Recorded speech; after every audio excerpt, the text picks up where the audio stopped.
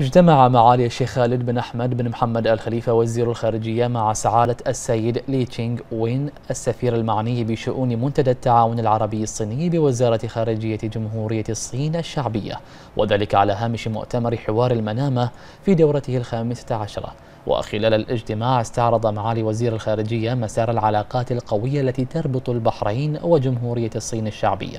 وسبل دفعها في شتى الأصعدة لا سيما في ظل الإرادة المشتركة والفرص الكبيرة التي تتوافر لدى البلدين في مختلف المجالات.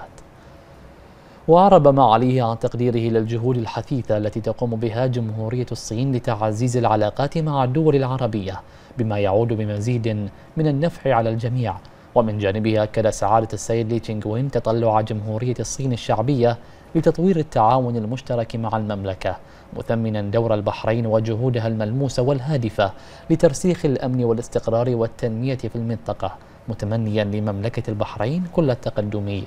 والازدهار.